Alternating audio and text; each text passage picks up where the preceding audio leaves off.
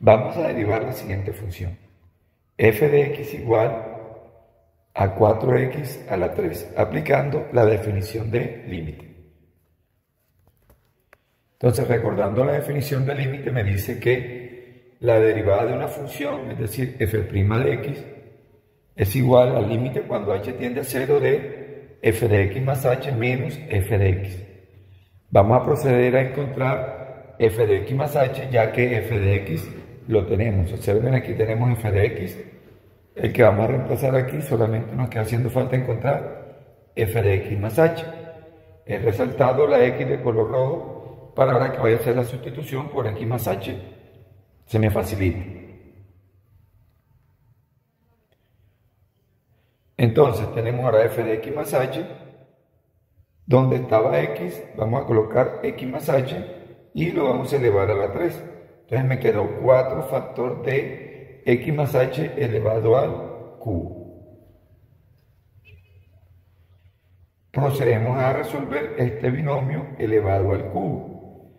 Nos dice eh, la solución que sería el cubo del primero más tres veces el cuadrado del primero por el segundo, 3x al cuadrado por h, más tres veces el primero por el cuadrado del segundo más el cubo del segundo. Procedemos ahora a resolver la multiplicación que tenemos de 4 por este factor que está aquí en el paréntesis. Aplicamos la propiedad distributiva de la multiplicación con respecto a la suma. 4 por x a la 3 me va a dar 4x a la 3. 4 por 3x a la 2h me va a dar 4 por 3x a la 2h. 4 por 3xh a la 2 me va a dar 4 por 3xh a la 2. Más 4 por h a la 3 me va a dar 4h a la 3. Aclaro que ustedes pueden obviar este paso a medida que vayan practicando. Podrían llegar a este directamente. Es decir, 4x a la 3 más 4 por 3 me daría 12x a la 2h, más 4 por 3 me daría 12xh a la 2, más 4h a la 3.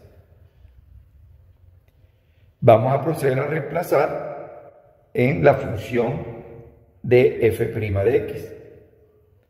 Ya tenemos f de x más h y tenemos f de x.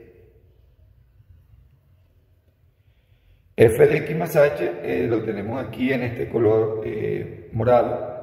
Sería 4x a la 3 más 2x a la 2, h más 12xh a la 2, más 4h a la 3, aquí está idéntico, menos, como un solo elemento, pues no lo coloco en paréntesis, f de x, pero f de x, ¿quién es?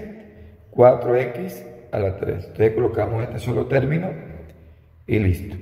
¿Qué podemos observar aquí? Aquí podemos observar que yo tengo 4x a la 3 positivo y tengo 4x a la 3 negativo. Esto significa que ya estos dos los puedo cancelar. Eh, notemos que aquí tengo una h, tengo h al cuadrado y tengo h a la 3. Significa que en estos tres puedo sacar factor común h con el fin de eliminar la indeterminación. Eso es lo que estoy buscando. Entonces, este límite sería igual a h que multiplica a 12x cuadrado más 12xh más 4h a la 2. O sea, 12x a la 2 por h me va a dar 12x a la 2h.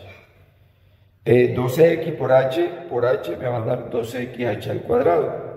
Y 4h al cuadrado por h me va a dar 4h a la 3.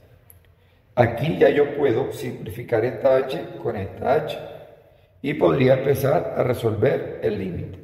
El límite cuando h tiende a 0 de 2x a la 2, pues como no tiene nada va a dar 2x a la 2.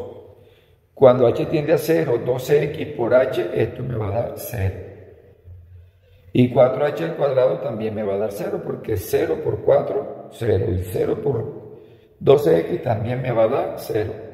Es decir, que f' de x es igual a 12x al cuadrado.